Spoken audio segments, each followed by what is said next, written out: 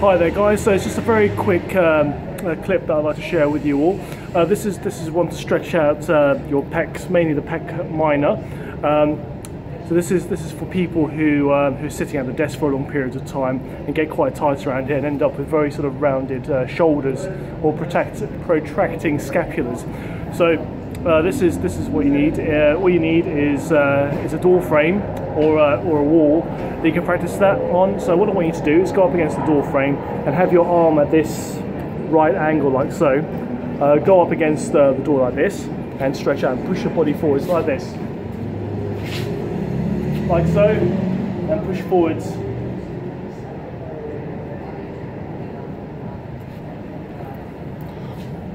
hold that for a minimum of 20 seconds and repeat on the other side and uh, let me know how you get on. See you next time.